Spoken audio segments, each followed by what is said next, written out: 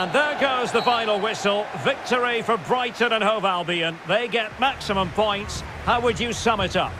Well, Derek, it was a really tight game, but they were the better side over the 90 minutes, and they fully deserved their victory today. And I think it's fair to say he'll be happy with his own contribution in this game, Stuart. Well, I enjoyed watching him today. His work rate, skill and movement were excellent, and he fully deserved to score that winning goal.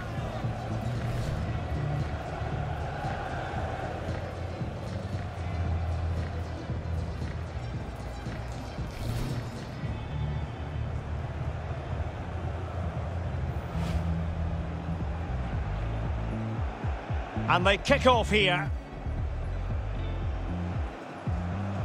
Cutting the ball back. Well, they would have done had it not been for the keeper. Well, they should be ahead now. Yes, it was a good save, Derek, but he should score. Teammate in support. To jump in front.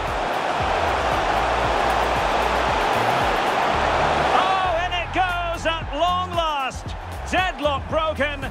Will that be the one that gives them the win?